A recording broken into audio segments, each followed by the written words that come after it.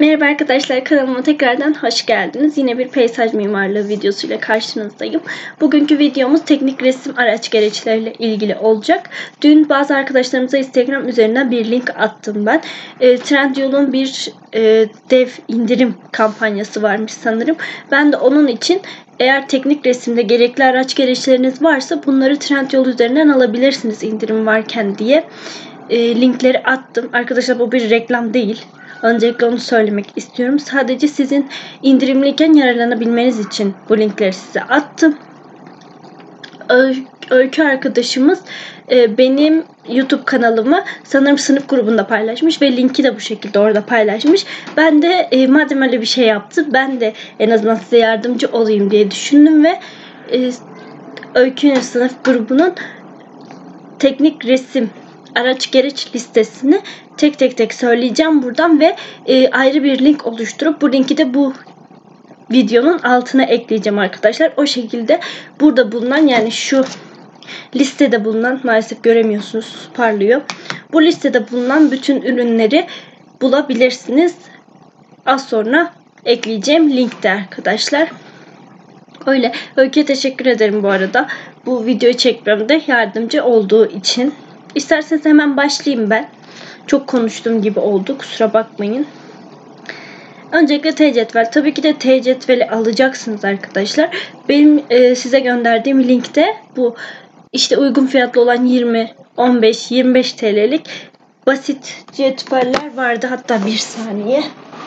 Şundan bahsediyorum. Hemen göstereyim de. Şundan bahsediyorum. Bunu alın arkadaşlar. Gidip de bu başı dönenden almanıza gerek yok. Onu almayın. Başka büyük boy üçgen cetvel demiş. Sanırım bunlar ıı, bu bahsettiği şey gönye. Hani büyük boy üçgen cetvel derken neyden bahsediyor bilmiyorum arkadaşlar. Onu arkadaş eğer ıı, hocalarınıza sorabiliyorsanız sormanızı tavsiye ederim. Bunun haricinde eskiz kağıdı var. Eskiz kağıdını çokça alın demiş. Ama e, kaça kaç olduğunu söylememiş sanırım. Onu tam olarak öğrenirseniz işte A4 mü 35'e 70 mi yani kaç olduğunu öğrenirseniz o şey 35-50 de olabilir. Kaç olduğunu öğrenirseniz ona göre alabilirsiniz. Eskiz kağıtlarınızı da linki onu da ekleyeceğim. Gönye, pergel bunları göstermiştim zaten. Pergeli e, linkte eklemiştim. Böyle küçük setler şeklinde alabileceğinizi söylemiştim ucu çıkıntılı metal kalemin ne olduğunu bilmiyorum arkadaşlar. Dereceli kalem demiş. 2BHB. Sanırım bu kurşun kalemlerin işte H ve B versiyonlarını alabilirsiniz anlamında söylemiş. Beyaz çizim kağıdı demiş. Bunu biz Öykü ile konuşmuştuk. Benim bahsettiğim kağıtlar şöhler kağıtlarıydı arkadaşlar. Teknik resimde o kağıtlar kullanılıyordu.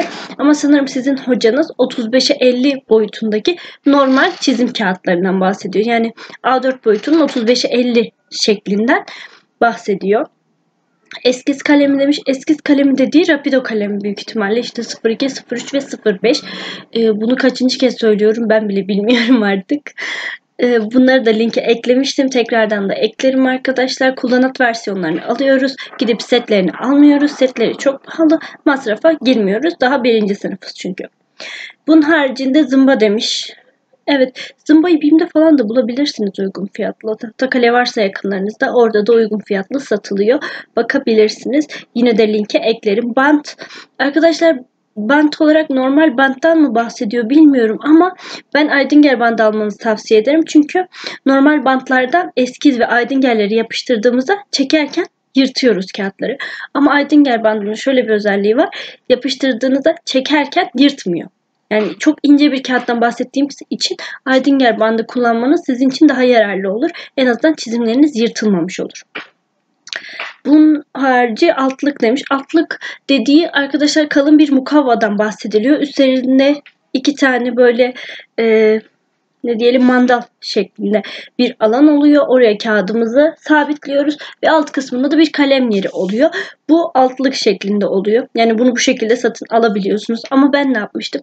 Ben bu kavayı kestirmiştim 50'ye 70 boyutunda. O şekilde kullanmıştım. Siz de kullanabilirsiniz. Zaten evdeyiz arkadaşlar. Hani çok istiyorsanız bir mandal şekli oluşsun istiyorsanız da bir saniyenizi isteyeceğim. Burada vardı benim mandallarım. Şöyle hemen göstereyim size. Mandal derken bahsettiğim şunlar arkadaşlar. Bunların büyük boyları da var. Siyah versiyonları. Onları da alabilirsiniz. Mukavvanızın üst kısmına bunları sabitliyorsunuz.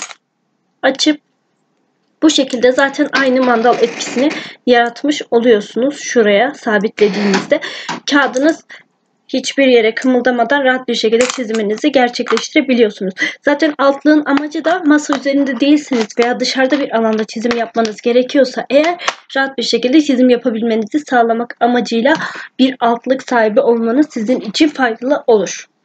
Bunun haricinde bir falçata denmiş. Falçatayı da kaçıncı kez anlatıyorum.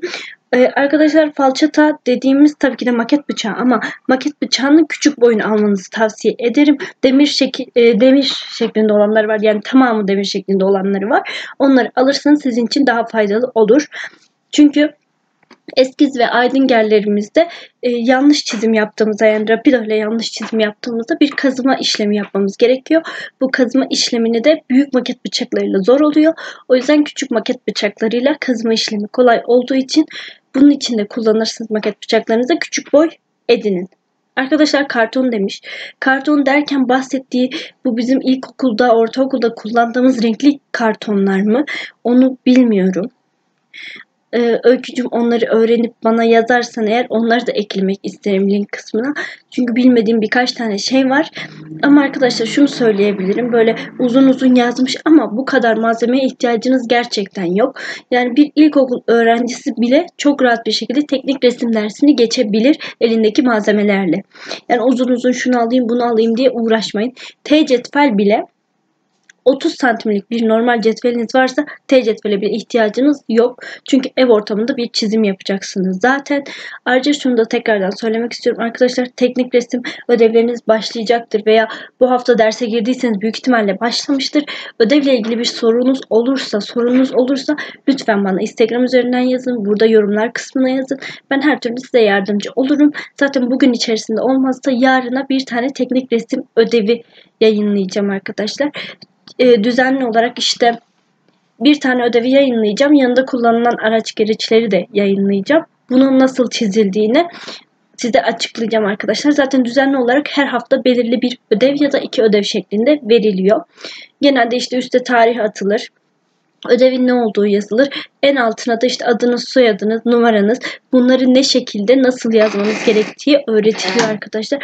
Direkt böyle alta işte ismimi, soy ismimi yazayım, numaramı yazayım, geçeyim diye bir durum söz konusu değil. Örnek vereyim. Bir A4 kağıdının en altına yazacaksanız eğer 3 santimlik bir boşluk bırakmanız gerekiyor en altta. Onun üst kısmına işte önce adınız soyadınızı tabii ki de büyük harflerle soyadınız o şekilde yazıyorsunuz. Kaç santimlik arayla yazmanız gerektiği de öğretiliyor. Yani bunlar böyle basit şeyler gibi görünüyor olabilir ama önemli şeyler. Projelerde bile isim soy isme çok dikkat ediyorlar.